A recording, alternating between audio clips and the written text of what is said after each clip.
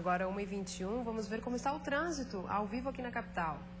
Nas pontes Pedro Ivo Campos e Colombo Salles, o movimento flui com pouco de lentidão nos dois sentidos. Vamos à Via Expressa, BR-282, movimento mais intenso e lento para quem vai ao centro da cidade. Motoristas e cobradores do transporte coletivo da empresa Canas Vieiras, que atende o norte da ilha em Florianópolis, paralisaram as atividades na manhã de hoje por duas horas. Nenhum ônibus saiu da garagem da empresa Canas Vieiras entre as 5 e as 7 horas da manhã de hoje. Por conta disso, a população revoltada com a falta de transporte fechou por cerca de 40 minutos o terminal de integração do centro, o TICEM, o que causou transtornos para os usuários do transporte coletivo. Segundo o Sintraturb, o Sindicato dos Trabalhadores em Transporte Urbano, a categoria reivindica o pagamento retroativo do salário e do ticket alimentação dos dias parados durante a greve deste ano. Por volta das 8 horas da manhã, o serviço foi normalizado. E foi divulgada a lista dos municípios catarinenses que vão ser contemplados na primeira etapa do programa Mais Médicos do governo federal. Das 30 cidades prioritárias, apenas cinco vão receber novos profissionais. Mais de 150 municípios inscritos ainda aguardam uma nova seleção para reforçar o atendimento de saúde. Em Santa Catarina, 23 médicos foram homologados nessa primeira etapa do programa e 17 municípios serão beneficiados com novos profissionais. Florianópolis vai receber quatro médicos, Tijucas, Brusque e Itajaí, dois profissionais. Águas Mornas, Araquari, Blumenau, Bombinhas, Gravatal, Guaraciaba, Imaruí, Itaiópolis, Itapema, Mafra, Porto Belo, Santo Amaro da Imperatriz e São José vão receber um médico. Quem aguarda na fila por atendimento, essa é uma notícia esperada há muito tempo. Só dois? Não. A gente tem que pegar bem mais, né? Que a nossa saúde está precária, né? Muito pouco.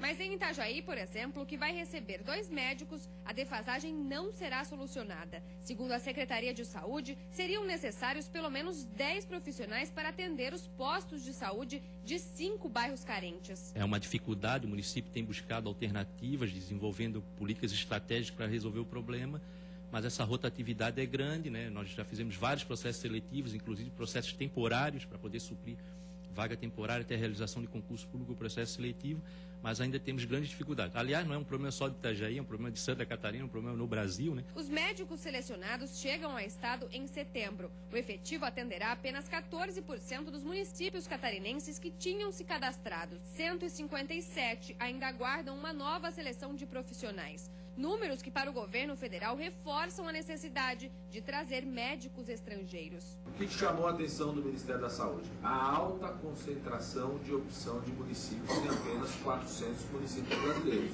Isso chama a atenção do Ministério da Saúde e só reforça é, o diagnóstico de que faltam médicos no nosso país para dar conta de toda a demanda da atenção básica no país. Durante o cadastro do programa, 43 médicos demonstraram interesse por Santa Catarina, mas apenas 23 confirmaram a participação. O Ministério da Saúde decidiu prorrogar para até amanhã o prazo para a confirmação dos profissionais. Eles poderão novamente indicar mais seis opções de cidade. Uma nova lista será divulgada no sábado. Na semana passada, o Sindicato dos Médicos de Santa Catarina fez uma série de manifestações contra o projeto Mais Médicos do governo federal. O CIMESC apoia a vinda de profissionais estrangeiros desde que eles passem por uma nova prova que ateste os conhecimentos técnicos na área de atuação. Qualquer médico estrangeiro será bem-vindo desde que faça a prova revalida, desde que seja aprovado, eh, em respeito à lei e em respeito ao cidadão catarinense.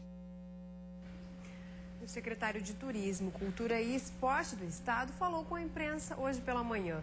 Entre os assuntos, esclareceu a situação do SIC e deu detalhes da reabertura do edital Elizabeth Ardelli.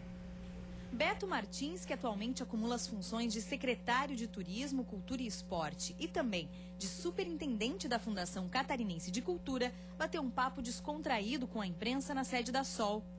Ele falou sobre os investimentos do governo do estado, principalmente na área da cultura. Um dos principais assuntos foi o edital Elizabeth Anderle, que depois de três anos sem ser lançado, foi reaberto esse ano. O prêmio vai distribuir 7 milhões a 188 projetos culturais, além de 272 passagens de intercâmbio. A lista dos projetos habilitados foi divulgada semana passada e dos 965 inscritos, menos da metade, 444, passaram para a etapa de avaliação técnica razão que nos leva hoje a, junto com a sociedade cultural, junto com o Conselho Estadual de Cultura, discutir algumas mudanças para o ano que vem. É, saindo mais da linha do edital e indo para a linha do prêmio. Porque eu entendo que a gente deveria primeiro julgar, primeiro o mérito técnico do projeto, depois se entraria para a fase de habilitação. Isso evitaria uma série de documentos que acabam sendo desnecessários agora. Outro assunto abordado durante o café com a imprensa foi a situação do SIC. Segundo o secretário, apenas a ala norte do teatro continua interditada e uma vistoria dos bombeiros está agendada para o fim dessa semana. Com a aprovação dessa ala, o habite de todo o complexo deve ser liberado definitivamente. estou muito otimista que ele deve liberar a ala norte e na semana que vem nós estaremos conquistando definitivamente o habite de todo o complexo tanto o habite do bombeiro quanto o habite da prefeitura. Sobre a vaga de superintendente da Fundação Catarinense de Cultura, o secretário disse que, por enquanto, ainda não tem um nome para ocupar a cadeira. E no próximo bloco, a previsão do tempo para esta quarta-feira no estado e o resultado da campanha de desarmamento infantil. Uma escola de Biguaçu foi a grande vencedora. Nós voltamos já.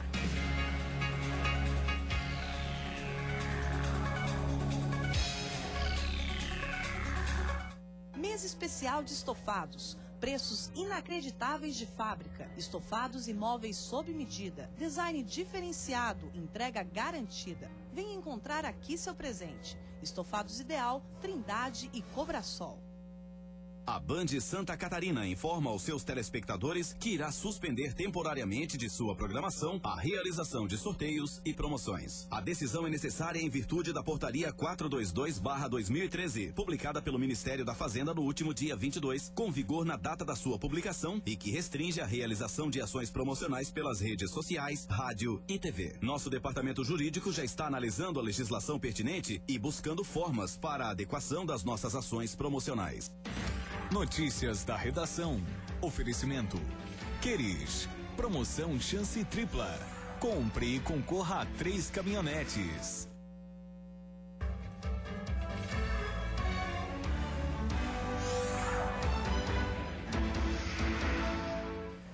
O Procon de Florianópolis começou hoje uma intensa fiscalização em pet shops, agropecuárias e clínicas veterinárias. Até o final da semana,